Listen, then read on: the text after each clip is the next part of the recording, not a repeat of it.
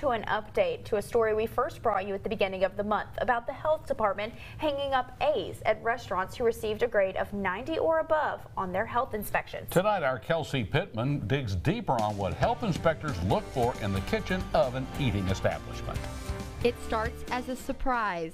The health department shows up to give an inspection on a restaurant, Check the food, check some temperature in there. averaging two to four checks a year, depending on their risk assessment. It's according to what foods they do, what kind of complex practices they have, how many employees, and how many people they field, uh, feed. Keeping an eye out on infractions, from how employees wash their hands We always wash our hands for 10 to 15 seconds. Make sure there's soap, hot water, 100 degrees minimum. If they fail to do that, That's two points. then they look at the kitchen. Come in the next room.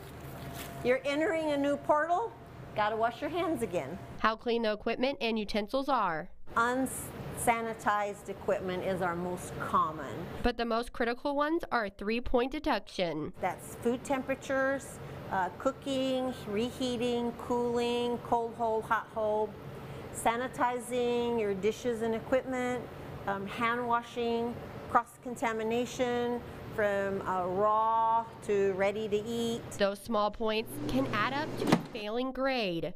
When it does, they have a program to help the establishment get back on track. We do everything possible not to shut a restaurant down. We will go in and have them create a corrective action plan and start to work immediately to fix their problem. In Abilene, Kelsey Pittman, KRBC, Abilene's local news.